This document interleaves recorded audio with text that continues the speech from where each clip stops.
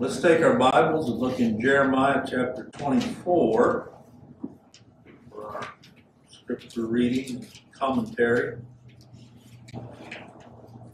Jeremiah chapter 24. Verse 1 says, The Lord showed me, and behold, two baskets of figs were set before the temple of the Lord after that Nebuchadnezzar, king of Babylon, had carried away captive Jeconiah, the son of Jehoiakim, king of Judah, and the princes of Judah, with the carpenters and smiths from Jerusalem, and had brought them to Babylon. So here we are given the time and place of this visual lesson that the Lord gave to Jeremiah of two baskets of figs.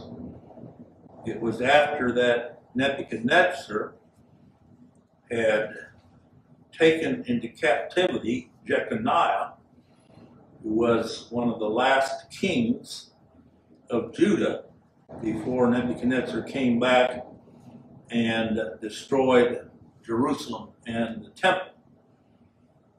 So, if you remember when we were studying in 2 Kings, chapter 24, Jeconiah had been placed as king, but he only reigned a few months. Every king that went into power did not last because the Lord had determined that this would be the end. And so when Nebuchadnezzar came a second time to Jerusalem, he came down three different times. Here he came, and Jeconiah's reign was short, and in his place there was one other king called Zedekiah, if you remember our study in uh, Second Kings. And so Zedekiah actually reigned for about 11 years. So we're getting down to the end here. And Jeremiah lived through all this, these events, but Zedekiah would have been the absolute last king of Judah before Nebuchadnezzar came down again the last time and completely destroyed the city and, and the temple. But he put Zedekiah in as a puppet king. And all of this the Lord was doing. There's no king that rises or falls but what the Lord has ordained. And at the same time, we see that Nebuchadnezzar carried away, along with Jeconiah, king of Judah, the princes of Judah.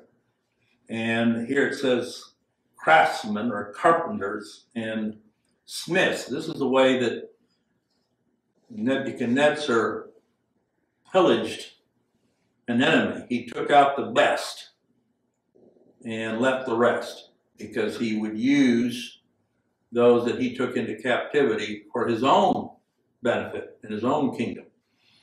Hence, Daniel and his friends, when they were taken into captivity, they were they would likely have been among these here at this time that Nebuchadnezzar took into captivity. But now let's see what Jeremiah saw these two baskets of figs, verses 2 and 3. One basket had very good figs, even like the figs that are first ripe. And the other basket had very naughty figs. Interesting way of putting it. Bad figs, which could not be eaten, they were so bad. And verse 3 says, Then said the Lord unto me, What seest thou, Jeremiah? You know, when the Lord asks a question, it's because he doesn't, it's not because he doesn't know, but it's for Jeremiah's benefit. As any good teacher would ask questions of the students what seest thou, Jeremiah? And I said, Figs, the good figs, very good, and the evil, very evil, that cannot be eaten. They are so evil. So pretty simple lesson here in the basket of these figs. You say, well, what were the good figs? Because we know that there's none good but God. And uh, yet here we see Jeremiah looking at really some figs that represent people. That's what these figs represent. So now, as I've always said, if you read far enough, we get the answer. Don't stop too soon. So in verses 4 through 7, we have a description here of the good figs.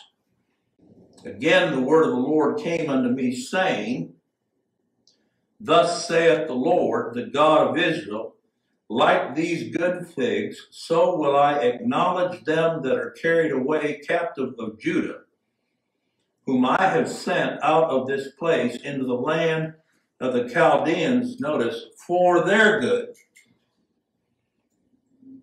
for I will set mine eyes upon them for good. And I will bring them again to this land, and I will build them and not pull them down, and I will plant them and not pluck them up. And I will give them a heart to know me, that I am the Lord, and they shall be my people. And I will be their God, for they shall return unto me with their whole heart. Well, what do you suppose these good things are? They represent that remnant. That in spite of being taken away into captivity, yet the Lord would show mercy to them. This, this would be vessels of mercy, as Paul describes there in the New Testament. There are vessels of mercy and vessels of wrath. These would be ones that would be elect in Christ. That even though they would be taken into captivity and suffer along with the rest, Yet the Lord would preserve them and bring them back, and not just bring them back physically, but as you see there, give them a heart to know God in truth and to worship Him. And so these basket of good figs, as I said, it's not because there's anything good in them in and of themselves, but it's because of how God had set His mercy upon them and purpose to be merciful and gracious unto them for Christ's sake. That's really the lesson that we have here. And as we're studying in Ezra, fast forward after 70 years, and those that returned and began to rebuild the temple and the city, that would be some of these on the other end now of those pigs that the Lord had preserved, that his name should be glorified in their return. When he says here, I will set my eyes on them for good and will bring them back to this land. So here God promised already, even though at the time Jeremiah was writing, it was before the captivity or during the captivity. Here it was already foreseen what we're studying right now in Ezra. It's the beauty of looking at all these books together, whereby during the time of Ezra and Nehemiah, somewhere around 538 before Christ, from what we can figure. And so the blessing here of these being taken out of the land, according to what the Lord said, was for their good. God purposed that these should not be destroyed with the rest. And therefore set his love upon them. Because he had set his love upon them. We can find many examples here of what God has purposed to do for his people in the Lord Jesus Christ. That new covenant in his blood, whereby the Lord has not destroyed all sinners, but he has preserved to himself that remnant, those elect whom Christ would come and pay the sin debt and uh, give them a new heart. A lot of what we're reading here when you get into the New Testament is applied to those of the New Testament regarding the promises of God that He uh, said He would fulfill. That's the only way any of us can know God, is if God's pleased to give us a heart to know Him. Like it says in verse 7, I will give them a heart to know me. And they, I'm the Lord, and they shall be my people. They're not His people because of anything in them. They have no will of their own, but it's the Lord who gives that heart. And therefore, they're separated out. And that's really what we see here when it talks about these good pigs. There's none good but God. And yet, in Christ, through his finished work, he declares righteous everyone for whom Christ paid the debt. And then gives them a heart, draws them by his Spirit to know him. And then in verses 8 through 10, the last part of this chapter, is the basket of bad figs.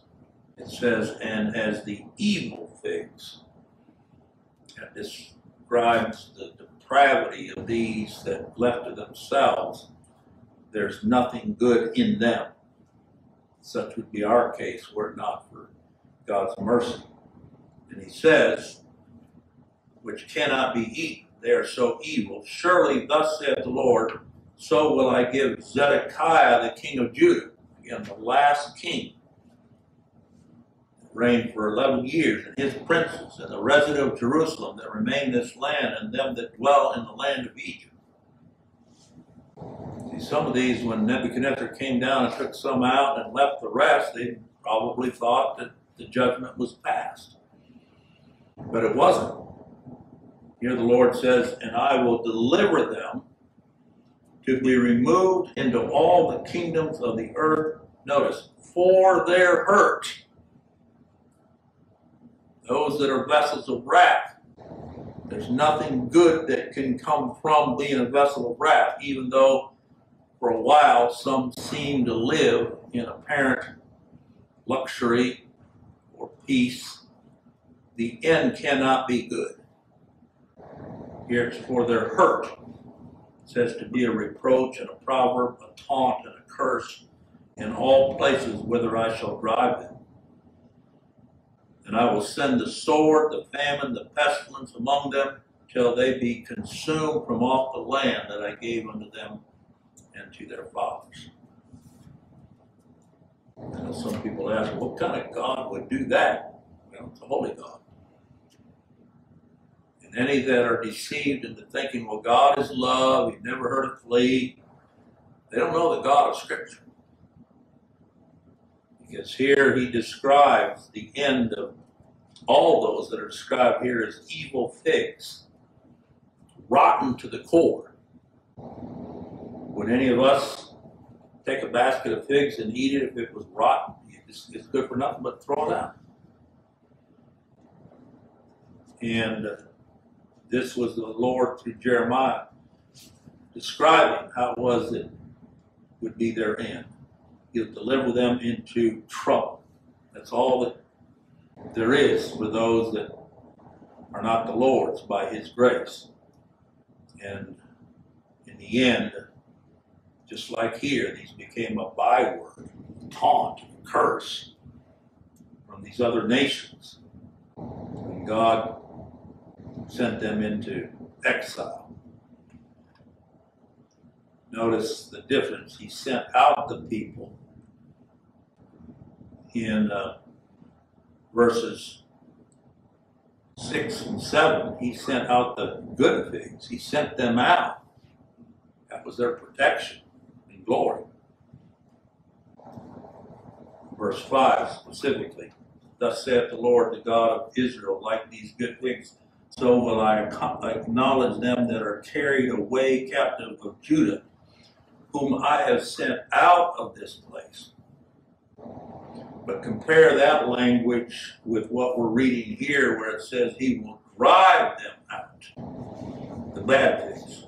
End of verse 9. Whither I shall drive them. And that word driving is in wrath, anger. And he would send sword and famine and pestilence among them. such as the judgment of God. I know people today are not accustomed to hearing of God saves whom he will and condemns whom he will, that's the God of Scripture. And we're one of these that is likened to the good figs. Again, it's only because of God's mercy and not for anything in us, for Christ's sake. Precious Father, thank you for your word, how sobering it is for us to read it. But I pray that you would be pleased to teach us in your mercy give us hearts to know you through your Son, the Lord Jesus Christ. Be found in him, not having our own righteousness, but that which is of you, through that faith that you give know him. So we commend the rest of our time of worship to you and pray for your blessing. And in Christ's name I pray.